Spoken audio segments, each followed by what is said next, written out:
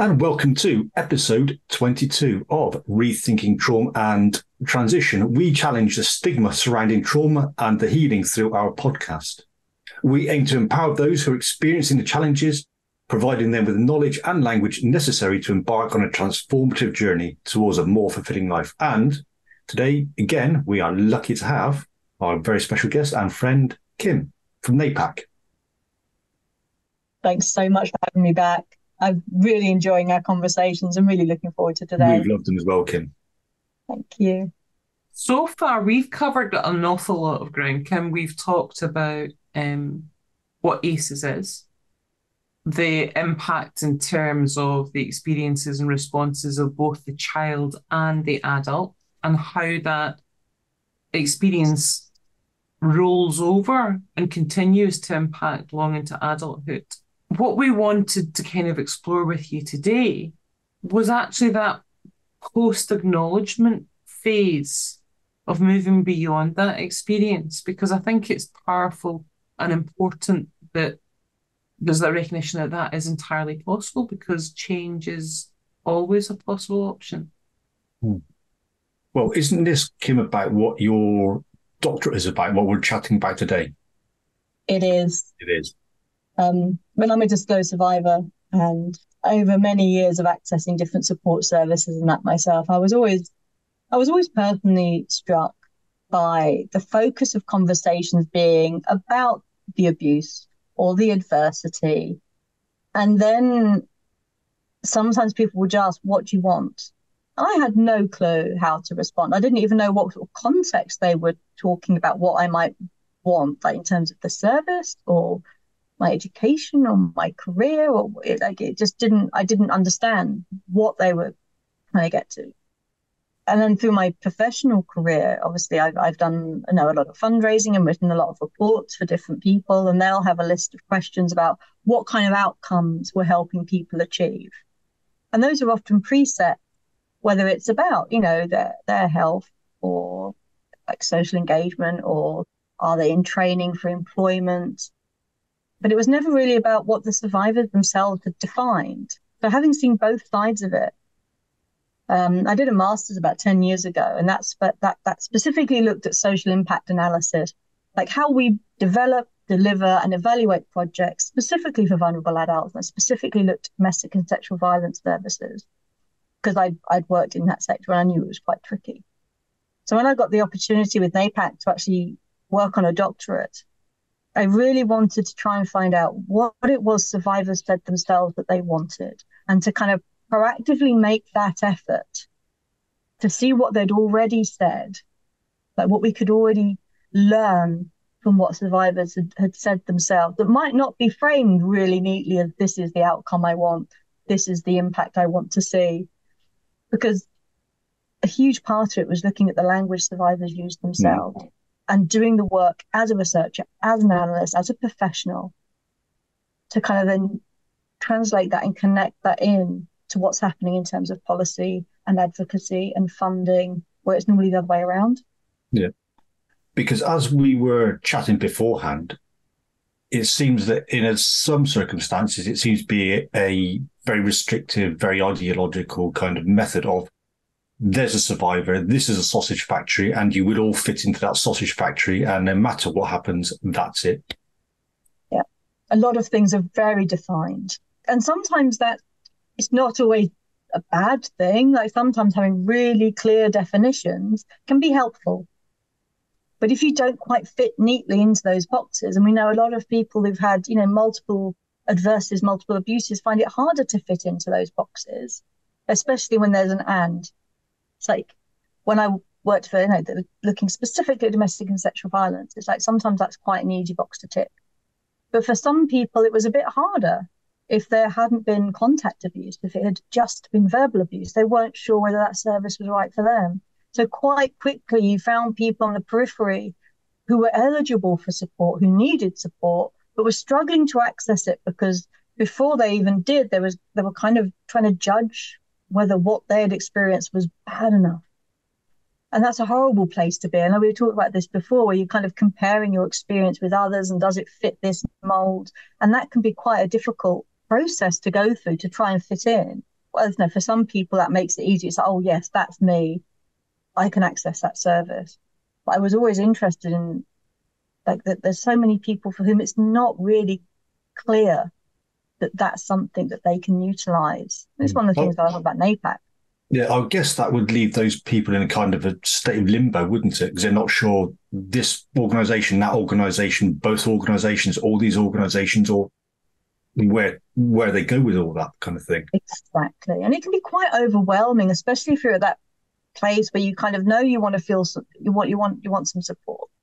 You're kind of recognizing there are these things that you know weren't right and that have impacted you, and you kind of want to talk it through with someone that when you're not even sure what those conversations might look like, whether that's a one off conversation before getting onto some practical support, or whether that's an ongoing therapeutic kind of conversations, maybe both. Maybe you're feeling really vulnerable because you know you're, you're, you're struggling to access secure housing and you kind of need that. And you're looking at Maslow's hierarchy of needs, that you kind of want some security before you can work on some of the psychological healing, but you're kind of aware that you're feeling vulnerable and that's making it harder to fill in that paperwork. Like, how do you navigate all these different things?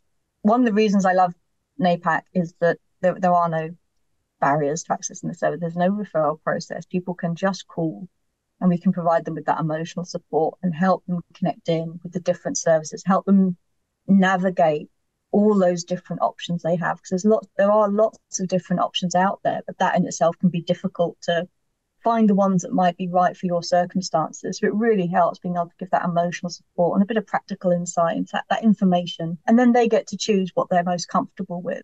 It's in a way, it's also sometimes I think what you're describing is that sometimes our experiences aren't single flavors, they're like a pick and mix of flavors. The problem is, is that sometimes the services that we're trying to access are only designed for one flavor. And where NAPAC comes in is it has the capacity and the awareness to be able to have that holistic overview of all the different flavors to say actually from what you're disclosing from your experiences and you're able to signpost then in terms of potentially effective routes for that support for that structure that would give the most efficient support possible for the individual and starting from that survivor led, person centered, trauma informed perspective. So, mm.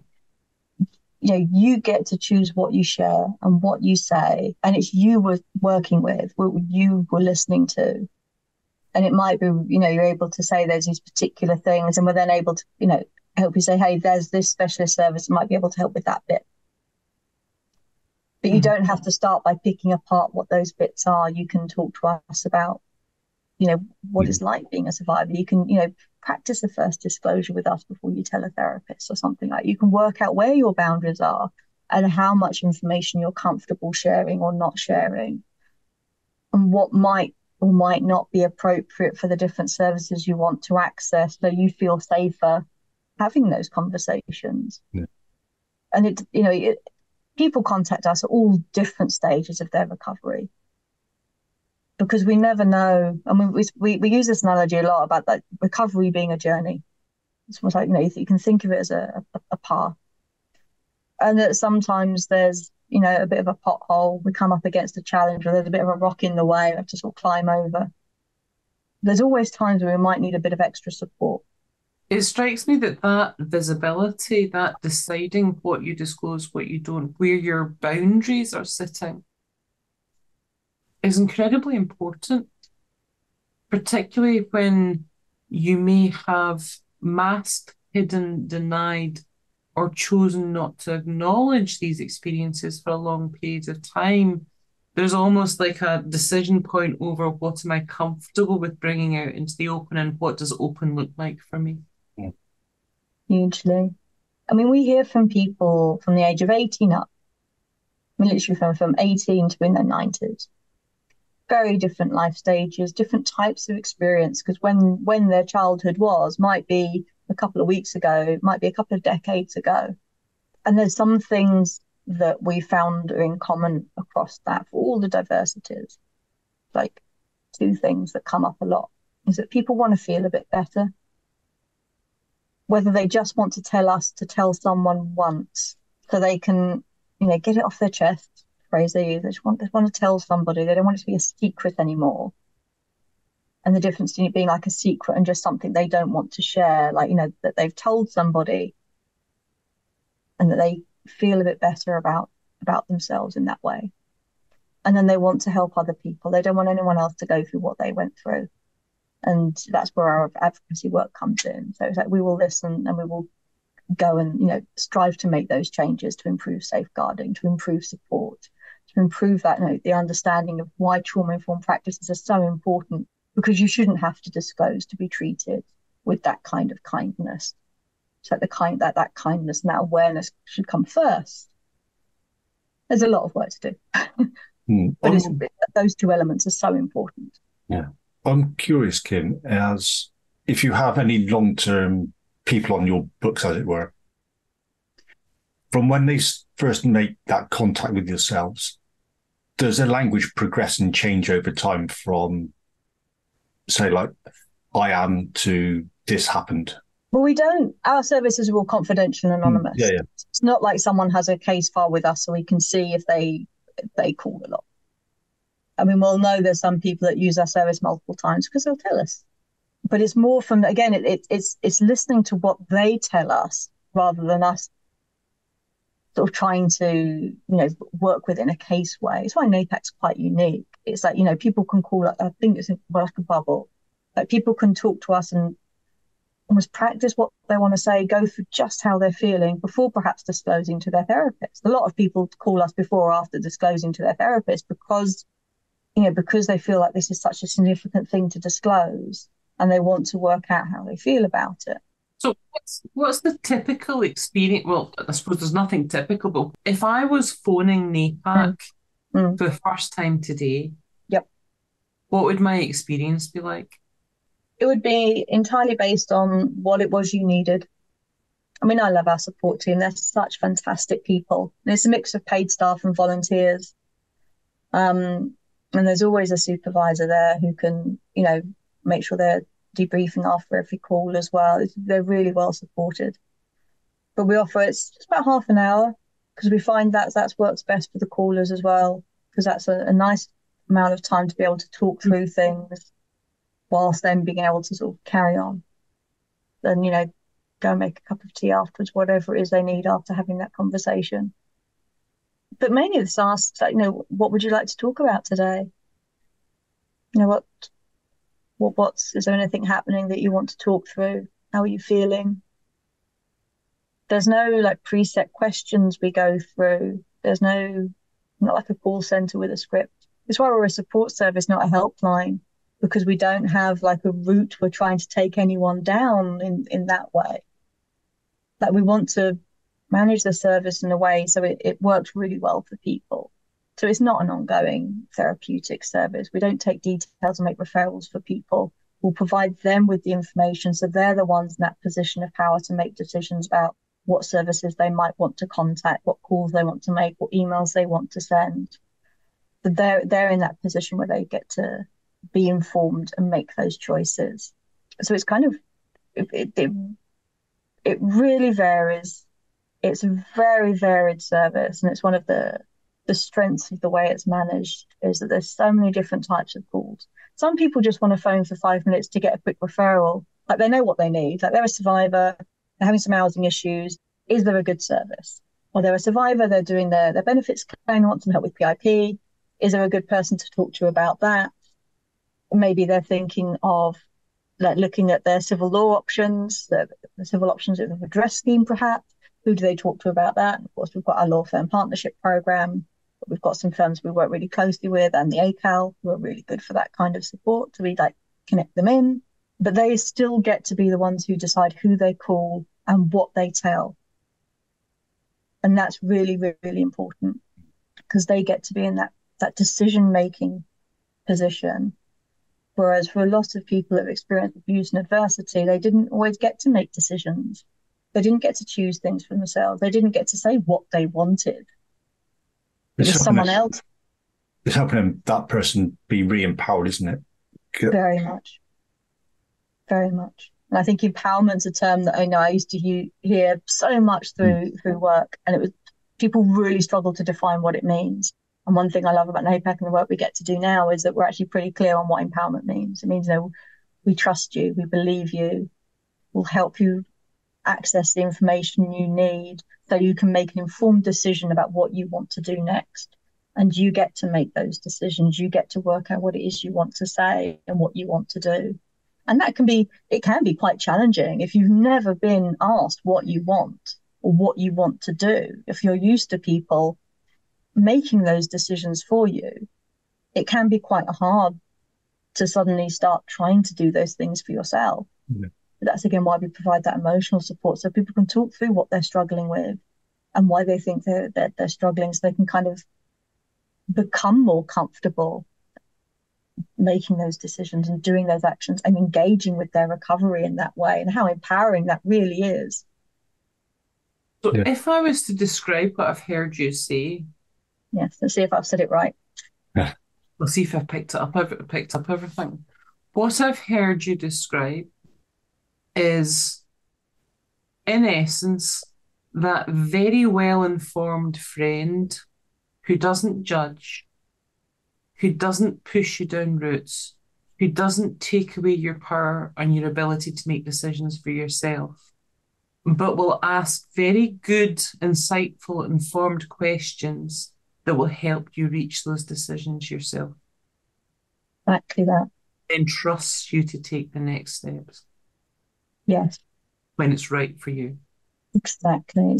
There's a huge amount of respect for people that comes through this work where, you know, we believe you and we trust that you can act in your own best interest. We can provide you with the information. We can make those those steps a little bit closer and a little bit easier. Hmm. But it, it's that trusting someone and giving them that information and letting them decide what's the right thing for them because only they know all the different things that impact their lives, their preferences, what their comfort lo- levels are. There's no point us saying you definitely need to make this phone call. If they hate making phone calls, maybe they felt comfortable talking to us, but that doesn't mean they're comfortable always making phone calls. Maybe they want to make an email. Maybe they want to go to the office. Even little things like that, it's really important that that person gets to choose what they're going to do and the way they're going to do it. Yeah. Well, I think what what was what was really important, sorry, Rich, was at a time that's right for you. Yeah. Because sometimes I think maybe, and correct me if I'm wrong, Kim, I think one of the things that maybe people feel anxious about is if I have or make this phone call, will I then be pushed to do something that I'm not sure I'm ready to do? When actually, I might need to take that away and have a think about it. I might need to sit with that for a while until I'm comfortable in the next step because actually, this first step was big enough. Yeah. We we know it can take. I mean, like the the average is over twenty years for people to make a first disclosure based on. We did a massive analysis of our data, um, and that was known what people were telling us, like how long. We know there's more younger people calling now, which means that looks like for some people at least that's getting smaller, which is great. Like being able to access support earlier is great because it means you've got so much more of your life ahead of you with, with the recovery process and being a bit more comfortable about yourself and with those experiences and you know feeling comfortable with those boundaries but we know as well i mean from when all the revelations have happened about celebrities having been found to be perpetrators sometimes there'll be a lot of calls that happen within 24 hours 72 hours of, of the news coming out but what we've also found is there'll be weeks and months and years later, people will still make those calls because it's sat with them. There's no deadline. There's no right time externally to make that kind of decision. It's entirely down to what you're comfortable with. And then as well, like we'll give someone in, some information if they want to access a, a particular service, we can help them find what they might want to do. But then there's no deadline for when they need to do that. We're not going to say, well, we're going to follow up with you in a week and make sure you've made that call. It doesn't happen. It's one of the, you know, we, we, we sit very separate to that. You know, we're just there as a resource for survivors. And survivors are our priority. Whether they're disclosed or undisclosed or supporters, however they want to define, it's like that's fine. We're not going to. There's not like a questionnaire you have to fill in and like gatekeeping to access. You get to choose what you're comfortable saying, and then how you want to then proceed. And we know that it, a lot of times it does take people a while to feel comfortable. Sometimes people will email before they're comfortable calling because they just kind of want to make sure this is the right fit for them. Like, do we have support for them? And you know, we can say, yeah, you can call us whenever you're ready. And it's always what we say is that whenever you're ready, when it's when it suits you. And sometimes the support line is busy, so that first call might not get through. Evenings are sometimes a bit quieter.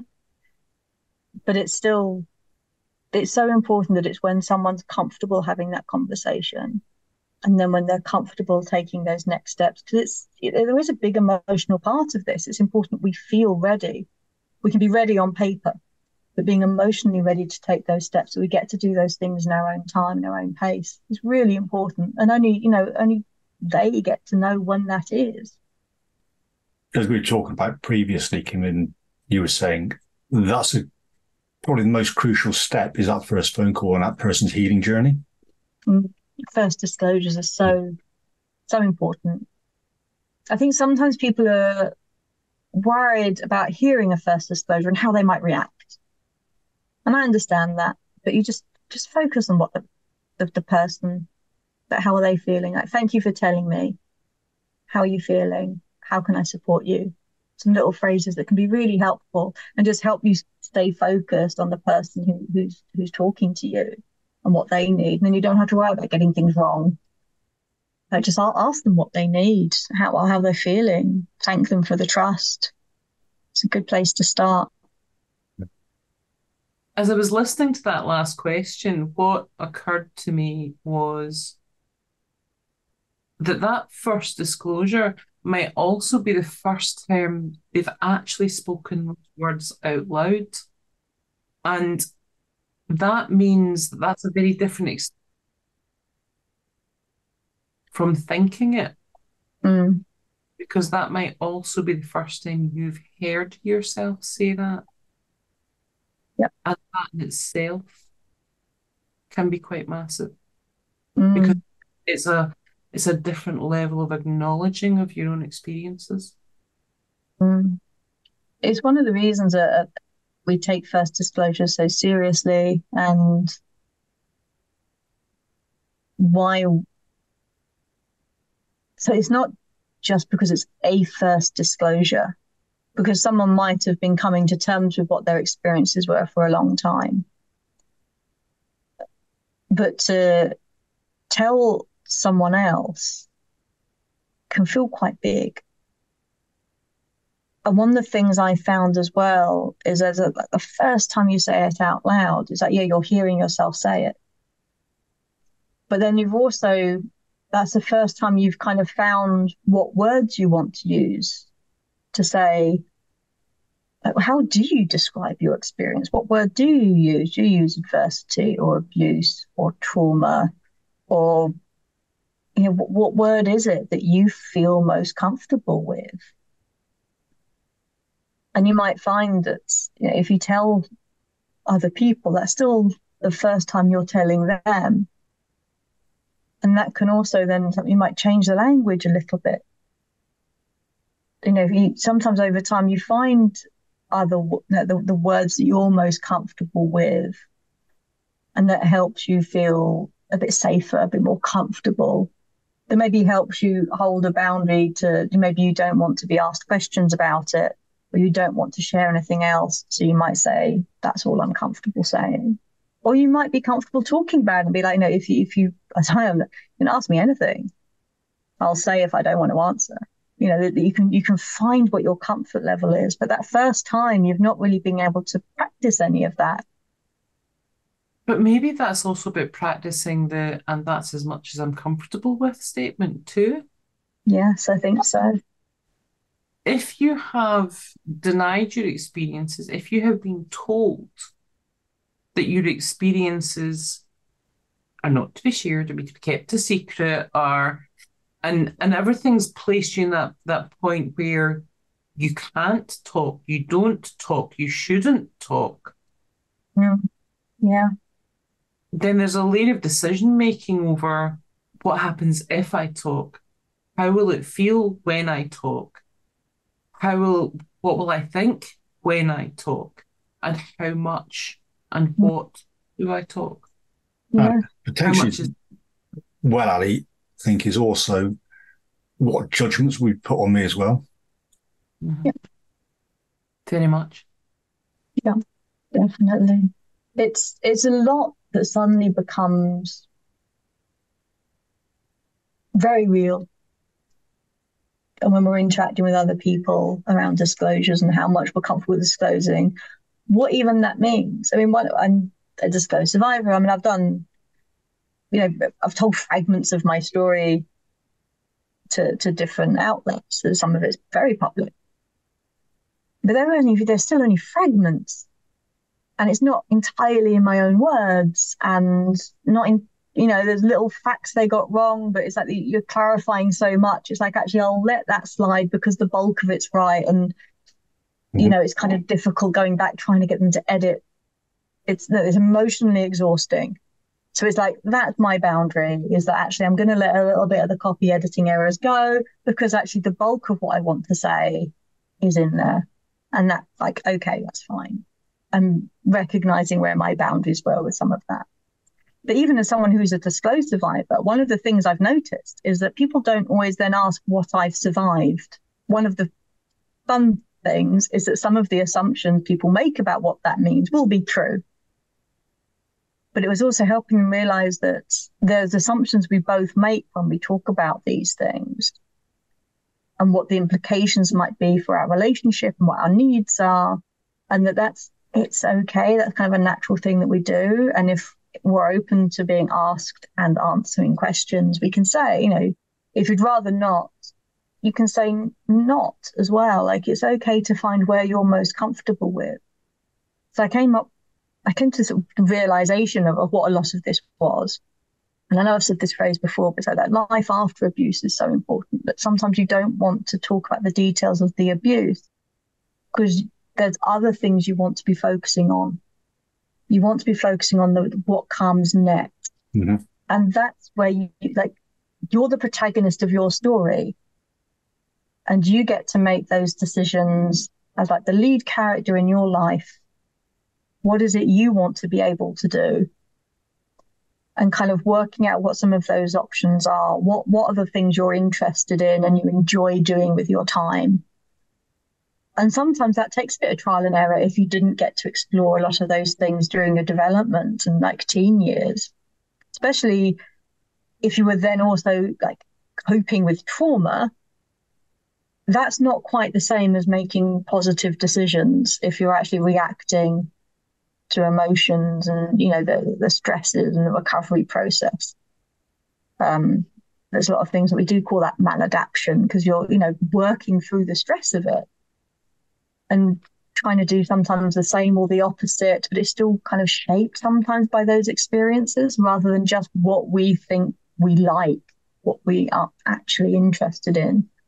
And so there can sometimes be, in, you know, through adulthood where you go through that process. And it's it can be really important to to do that. I often think that's really important, that life after abuse not despite or regardless or imagining it didn't happen, but we can acknowledge it's there and then still go on to make choices that best suit us. And a lot of that can be really fun and positive stuff. Like if you always wanted to learn to play an instrument when you were a kid, maybe as an adult, you've actually got the capacity to say, I want to do this and go and have some lessons. Or, you know, look up the, the tutorial videos online or you know, take up crochet or guitar or whatever whatever these things are that you just think I'd like to try that. Yeah. And sometimes we're taking up something new and it just enjoying for the sake of enjoying. You don't have to be good at it. No. That was a big thing I had to learn as well. like for a long time I was saying to people, it doesn't matter if you're good at it. You can just like it's just enjoying it is being good at it. And then I applied that to myself and realized it's it's quite hard sometimes doing that. It's like it sounds good, but doing things that you enjoy can be a huge discovery process. And that a huge part of the recovery as well, just connecting in with those, like just what you enjoy, like what makes you feel happy and interested. It's a huge part of recovery is sometimes getting to make those decisions. And like a lot of recovery stuff is based around the healing. And that's like with, with NAPAC services are there, that support, information, and choice, three hugely key parts of that. And one of the reasons we do that is, you know, the huge part of that is that he, helping people with the healing and coming to terms with what happened. But there's also that it's about them. Mm. It's you know, it, it, it's it's about them feeling whole and worthy and being able to make those decisions and, and work out what it is they want, what they need, and that being a priority. Is part of that process then, Kim, giving the people who do call you the encouragement to move on? Mm. Knowing it's possible. Hope is a massive, massive part of what we do. And it, it's knowing that things can and do get better and when you know if you're living with like anxiety and depression that can be really hard and you have those days where it feels that there's so much negativity and there's so much that negative feeling that's within you being able to talk to someone about that and talk about like what it is you actually want. And sometimes those wants might be framed more as like negative like i want less anger. I want less people interfering. I want you know less of these concerns and stresses. But you can see that on the flip side, what that might mean is I want more security, I want more positive outlets, I want more time to myself, I want more time with my friends. It's like something you can begin to see where those positives are that are to do with what it is you value in your life and being able to make those decisions. But that can be a really emotional and quite long term transition where you're going from like coping with what's happening to prioritizing yourself and they're, they're sort of two sides of the same sort of same coin if you like i'm going to i'm going to pose that two sides in a slightly different way mm. And it's kind of picking up and following on from the question you just asked rich as well because quite often when rich and i are working with people mm what we come across is an ability to meet their needs, mm. but a difficulty recognizing their wants. Yes. Because want is a totally different arena from need. Need is that lowest level of Maslow's hierarchy in terms of some basic survival. Want takes it to a next level. Want becomes more aspirational. Want becomes more about the things that aren't necessarily always essential, but are enriching for our life experiences. Yeah. When I uh, did my thesis, I found there were 10 self identified positive outcome themes. And they were themes. It was, because even within each area, there were different kinds of words people used. So it made sense to cluster them as a theme. Like, what are these kinds of topics that people want? the top two were support and justice. Makes sense. That the, a lot of abuse is a is a crime. Wanting justice makes sense. What justice was was often quite a complex concept. Mm-hmm. It wasn't always with criminal justice or civil justice. Sometimes it was about no social, family, personal, a personal sense of justice. But like people believing you was sometimes a big part of what felt just. But one of the things that struck me was like it was like 0.7 out of the 10 that was actually to do with aspirations. Where for a lot of people who haven't had the adversity or abuse, if you ask people what they want, they'll much quicker come down to things like about a career or holidays or fun things. But for survivors, that was much lower down on the list. Mm. There was lots of things you would consider needs that were higher up in this list of the kinds of things they were just describing they wanted as outcomes. But that aspiration point was quite far down and you know it was it was there people were talking about those kinds of things they really wanted but what was fascinating about that as well was was that how it showed that it, it can be quite hard and a bit of a process for some survivors to recognize what it is they they want and be able to work through like identifying it and then working out how to make it realistic and then how to start working towards it.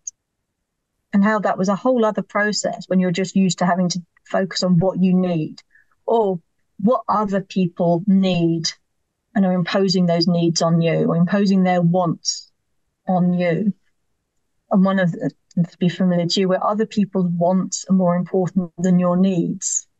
That's one of the issues within abuse and adversity where even though it's something you need it gets devalued because someone who's got more power prioritizes their wants. And that can then be a very confusing thing to unravel through healing. That's perception isn't it of that other person having more power than the other person until they manage to resolve that difference. Exactly. That's why there's so much healing that can be done in adulthood because we have so much more self-determination and and that is why there's so much more hope.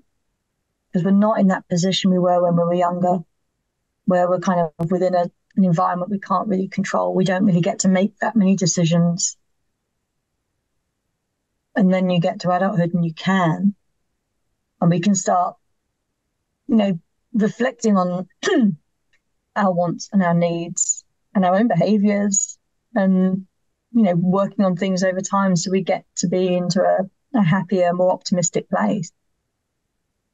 What i'm going to pick up on there is again is is it is the point you were making rich as well. Because some of that dynamic i think sounds a bit like it's almost the the knowings we carry about the assumptions other people place on us over what we and how we respond to them, what our role with them is, what their expectation of our interactions are, their assumptions about our experiences, whether they're right or wrong, and that those then colour our interactions and place boundaries in terms of what we share, what we don't share. mm-hmm. That want conversation is about shifting those boundaries, shifting that sense of who I am and how do I start to redefine that not only with the previous assumption holders, if I choose to do so, but also with myself. And NAPAC is that safe place to explore that with, that you can ask the questions over, well, what happens next if you'll get a very informed answer that that doesn't place you in a position of decision making, but just gives you the information you need so that when it's right for you, you can make a decision that can give you an indication of the resources available to you if you wish to make use of those. But fundamentally, what it does is give you visibility of the fact that there are options to to to help you move forward from where you are just now. And that's it's one of the things I find really profound about what we do. It's giving people a space where they can talk about and prioritize how they're feeling. Because even if they're making what looks like, you know, a, a, a logical decision about whether they're telling someone in their family, whether they're telling their employer, whether they're, you know, all these different kinds of things they might be interacting with and where it might be relevant or they're worried it's relevant or not. You know, there's all these different feelings that come up with these these acts and decisions, and they can talk that through with us, independent of whether they tell anybody else. And they can say like this, like how how emotionally heavy some decisions feel because of all those experiences.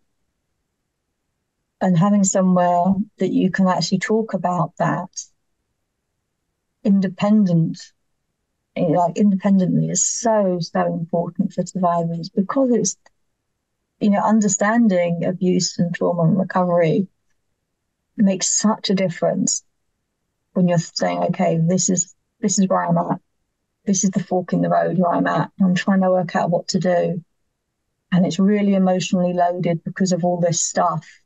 And just having somewhere where you can talk through what what your hopes and fears are without anyone judging you, who understands the basis for some of those feelings makes a huge difference and can make those next steps just seem, you know, more within reach and help you work out this is the one I want to do because this is the one that feels right for me. And that can be really important first, you know, it's important for everyone, particularly for survivors, getting to make those decisions that are in their best interest, with them being the people who know the most about their life and their story and their wants and their needs. I'm wondering, Kim, is what ways can people support NAPAC? Oh wow, that's a great question. Um, Be honest I, think, I mean, there's some of the best ways people can support us is by, you know, more on social media and sharing the posts, sharing the links so more people can find us. There's a particular page about what to expect from a call that kind of explains what that service is and what it's not. So, kind of understanding that we're here, that we don't have a referral process, and that like any adult survivors can call or email or get that support online. Really important. That's the first most important way you can support us is helping more survivors find out that we exist. Um, I think becoming a bit more trauma informed really helps. There's some training on our website. The one that's the most basic one, which is an introduction to abuse, trauma, and recovery. I co-wrote it. And it is, and there's a lot of information in there that's probably available public domain. There's some bits on there that's on our website, but that course will just take you through in a structured way. And that's only £30. And it's three hours of CPD. And it takes you through the basics of what of what we're talking about when we're talking about these things. And we've also got trauma informed survivor support on there that's more aimed at professionals. And that can give you the basics. We also do bespoke and tailored in person online training. Um, me and a couple of colleagues deliver that. And that's a really good way of knowing that you're going to be able to support not just disclosed survivors, but the undisclosed survivors so that the people who are there who maybe aren't telling you that they've got these experiences, that you're able to then deliver a service that you know is going to be helping them as well as the people who are disclosed. And your colleagues who may well be disclosed or undisclosed survivors and you managing the, you know, the vicarious trauma of, of listening and caring so much and making sure you stay okay. And then the third option would be donating. And we're, we rely a lot on our funding, of course, for how much we can deliver and how much we can do. Um, one of the things I'm immensely proud of is how cost effective NAPAC is and how much of our funding goes to providing support services for survivors, both the support line and when we have funding available, we run the support groups. But it's, you know, it's, it's what is it, about 87% of our funding goes directly to supporting survivors. Like the, the part of it that goes on to the, the admin and the governance, that's also really well spent because we've really improved our governance and we'll, you know, make sure we run in an ethical and efficient and effective way. So it's an important part of making sure the service works. There, there is a lot of controversy around some certain charities spending more on certain things than actually the help. Yes. Mm. That's one of the things I, I like to make clear about NAPAC is there's currently only five of us at head office. The rest of the team is the support team. You know, the bulk of our team is the support team, and they're you know supported by volunteers if you're in the Manchester area, there's sometimes volunteering roles or, volume recruitment for that. We like we value having a portion of our income going to our governance because this is really important work to get right. Mm-hmm.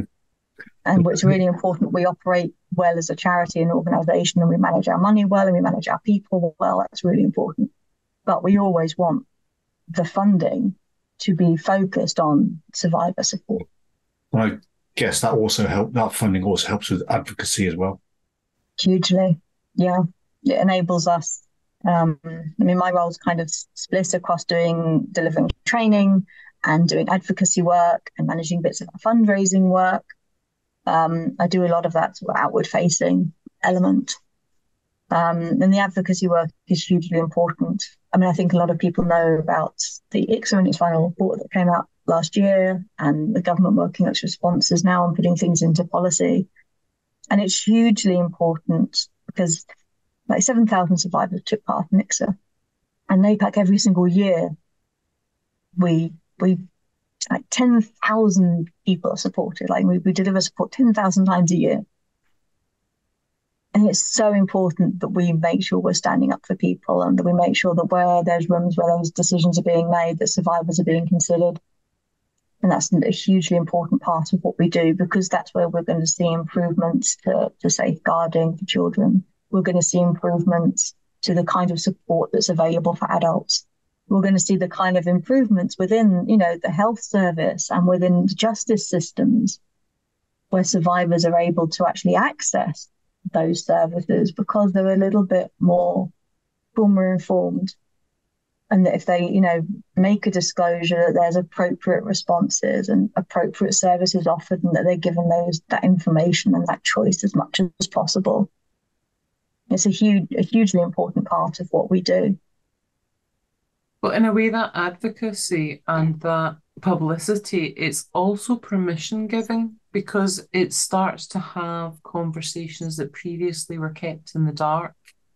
Yeah. It them out into the light. It acknowledges that much as though we would want it to be otherwise, these things happen. Yeah. And, and I know it can be it can be hard to engage with, but it's so important. I mean, it's one of the reasons I love the work that I get to do, and it's really hard sometimes, but it's really positive being able to demonstrate that there is hope and that recovery can happen and that there are there are things that we've learned that really help people heal and recover and that we're then able to to share that. And you know it's why the first thing is always awareness knowing that we exist knowing that this it's okay to want and need to talk about this and that there are options for doing that. And that you can get to choose what kind of support you want and what kind of services you feel comfortable accessing. And you can like choose to engage with them and you're the one who gets to make those decisions and then through that becoming something that's that's spoken about more and that you know that there's some campaigns and there's some of the social media things like the different things we get to talk about that help people realize that they did nothing wrong and it's okay to need some support and to access some support so they can feel a bit better, make more of those kinds of decisions for themselves that they want to be making. And that being that, you know, looking to the future and feeling really hopeful. And that you don't have to kind of compromise who you are and what your experiences are to be able to do that. So you don't have to hide them. That you can, you know, come to terms with it, that healing, that coming to terms with it can be a huge part of the recovery process, even if the only person you ever tell is yourself. Um, that's still hugely powerful. May I suggest, Kim, that you are probably a prime example of someone who's gone through what they've gone through and dealing with it, being able to survive and thrive and yeah, going on doing what you're doing. Yeah. And I would also point out that I still have bad days. So it's not like it's suddenly magically I'm okay. And that's, I think, quite important to reflect on. Doing this work still affects me. I still get triggered at times. I still get upset at times, but that's that's okay. I'm just I'm just one person, but it so happens I had adversity and abuse in childhood, and I had a, a, slightly turbulent, shall we say, teenage and young adulthood, and then I worked really hard to heal and worked really hard to recover. And then was able to kind of blend all these different parts of my life together and to to focus on this as something that I'm able to help make sure other people are heard and considered. And I do hugely value that I get to do this work and do it as someone who's a disclosed survivor with lived experience because I, you know, years and years ago, I, I got to, you know, speak at events sometimes as, as the survivor, the token beneficiary. And it was quite painful sometimes back then. You'd have your five minute slot and you talk about how terrible your experiences were, and everyone felt sorry for you. And then you sort of, that was it. And I really hated those experiences, but I still felt it was really important that someone stood up. And I didn't want someone to stand up who didn't want to, or didn't feel able, or didn't have the support because no one should be in a position where they feel they have to disclose or have to talk publicly when they're not ready or they don't want to or doesn't suit their circumstances. So we always felt like I was quite privileged that I, I could talk about some of what happened to me and then use that as kind of a thin end of the wedge to be able to bring in these other this other things that I'd learned and, and, and knew was really valuable and kind of wanting services to to consider the way they supported survivors and the kind of language they used and just help more survivors feel a bit more comfortable in themselves. And it also helps, I think, as well, is people know they're not alone. Somebody may not have gone through exactly the same experience, but there's people who've gone through similar experiences. And that you can find, you know, kindred allies out there mm. who will find you relatable and that can be quite sad. I find it quite sad when people would hear bits of my story and say, hey, me too. Because I know how painful it was. And so that's why I came to that thing of like, thank you for telling me. Is there anything you need?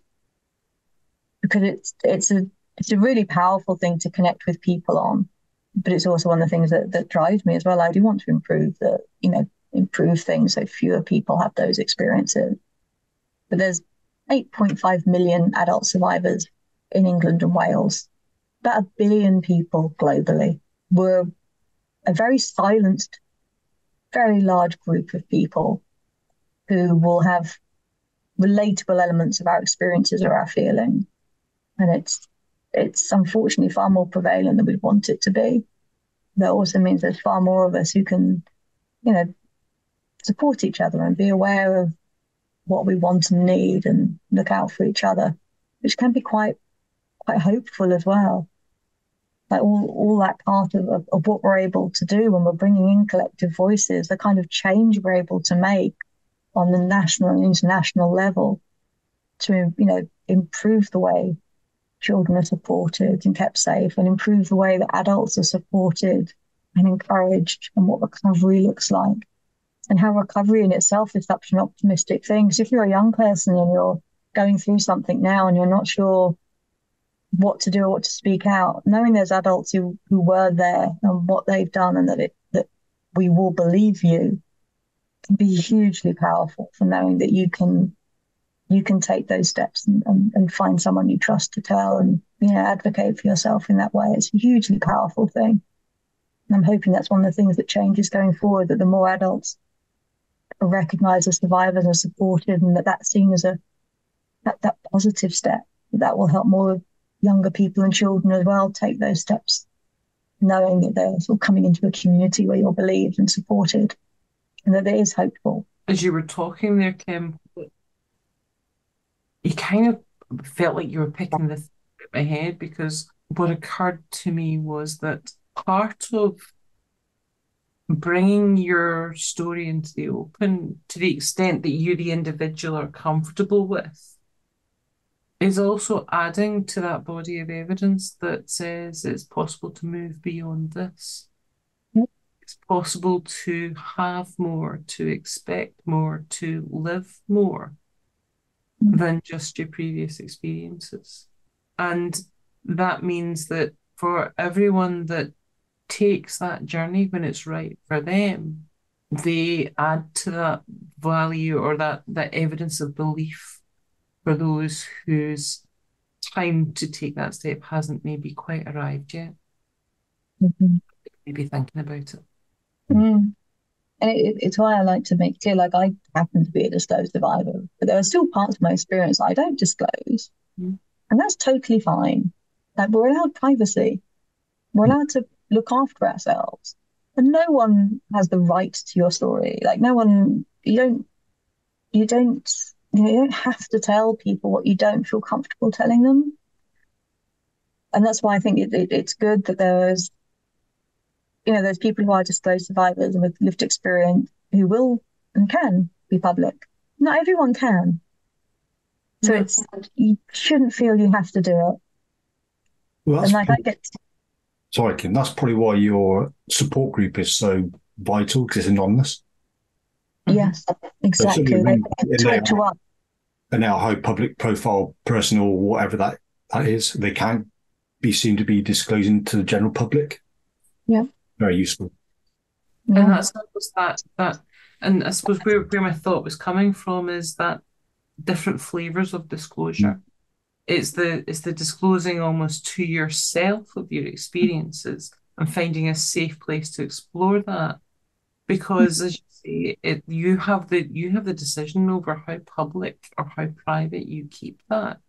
And it's why I take it. I think our advocacy can be so incredible because, like with, with my research, I looked at, and it was all totally anonymous and confidential. But I was looking at what people had had said they wanted when they called us over over fifteen years. It was over eighty thousand calls. I was just looking at that one bit. It was all everything's completely anonymous, completely confidential. It was like I wanted to know: can we look at what do we find when we scratch the surface of this? And it was incredibly powerful what just came out of that. And I think it, one of the things I'm proudest of from having done that bit of research and doing it the way I did it was like, look, we don't have to compromise on the confidentiality and anonymity. You can still retain that really robust way and still give voice to these people. Mhm. And I think, I mean, that's one of the things I'm, I'm perhaps proudest of because so often it's only like us um, us disclosed survivors and what we choose to disclose that makes it into like in, in, informing those kinds of advocacy bits. But what we're able to do is actually, you know, we, we learn from all these calls and it shapes how we deliver the service. That's the first bit of advocacy that happens with it. We make sure we're providing the right service in the right way and, you know, sharing the right kind of resources in our website and making more of these things more available to more people. But being able to give a voice to people who don't want to can't disclose publicly, but still making sure they're heard and they're considered. And that's a huge privilege to be able to to give them a platform whilst making sure they keep their confidentiality, their anonymity, their privacy, their, the right to privacy. So important. Do you actually hear back from anyone who has been through your system and you've signposted them to other organisations if needed be? And what's the outcome from that? We do. I mean, obviously, we're we don't actively follow up. We're we're here for when people want to talk to us, but people will call us and say, "Hey, I spoke to you a few weeks, a few months, a few years ago. This is what happened." Sometimes they'll they'll write in to thank us. Sometimes we only find out about that because someone sends us an anonymous donation, and they'll put a message on there and they'll say, "I called you X time ago." and now I'm in a better place and I wanted to help someone else. Excellent. And it's wonderful being able to hear from those who can say, This helped me. I mean, NAPAC's just, you know, we're, we're, we're one part of someone's journey. They're the ones who do all the work. Mm. And it's so nice just to know the bit that we do helps make the other bits they're doing easier. It's really great when we do hear from people who can say, Yeah, this this helped. Yeah, it makes it worthwhile. Oh, it's Mm. it's such incredibly good work in that way. It's it's really good when we hear from people and they're just able to say, That helped me, thank you. And what they've been able to go on to do. It's really, really wonderful knowing that that, that people have prioritized themselves and striven for what they wanted and they've like made it happen. And it's not always how we first imagine it's going to be. Often it, things aren't, are they? Yeah. It's like, but learning that, you know, that as, as you go through, it's like, actually, I've got to a place where I'm, I'm feeling good. And it's sometimes it's that looking back and you're like, wow, you know, I did all that work and I'm, I've got here and that feels amazing. And it doesn't look like how I pictured it, but it feels better than I imagined. And that's kind of wonderful to hear. We've covered a huge amount of ground over the last few episodes, Kim, and from mm-hmm. Rich and I, we just wanted to give you our heartfelt thanks. We've really appreciated it. We've thoroughly enjoyed all those conversations. We know that anybody listening will get a lot from them. There's certainly a lot to think about. And there's a lot that that NAPAC do that people need to be more aware of because of the benefits. Yeah. So I'm going to read this out before we close off. So it's in my book called Whispers Over Windermere, which you can buy on Amazon. And it's a poem called No Return. I reach a point of no return. Despair, sadness, inflictions of the mind. I peer into the darkness of my soul. Somewhere deep, a smouldering ember aglow. I write, draw, chant, and meditate. Small rotten branches fall and feed the embers. I work, exercise, and routine in place. Despair becomes hope. Sadness turns to joy. Inflictions of the mind I combat by default. The phoenix she dives, destroyed by the flame, only to rise anew. Yeah. like that sentiment. Yeah. So I thought that'd be quite a good ending. And we are very grateful for you, Kim, for all your time, for all the conversations that we've had. And yeah, anybody who's listening, please do support NAPAC in whatever way means that you can. And if need to, please do call and phone in. Yeah, if you're impacted, reach out to them, have a conversation. Yeah. All the support details them lovely. for NAPAC will be in the show notes as well. And Thank from you a- both so much as well. You've been such Yeah. gracious and delightful hosts. Yes, I wish you all the best. It's been really lovely getting to know you. it is. And we hope we can catch up and do some work together as well. Oh, definitely. Definitely. we shall, I know, speak soon, Kim. Hmm. Thank you.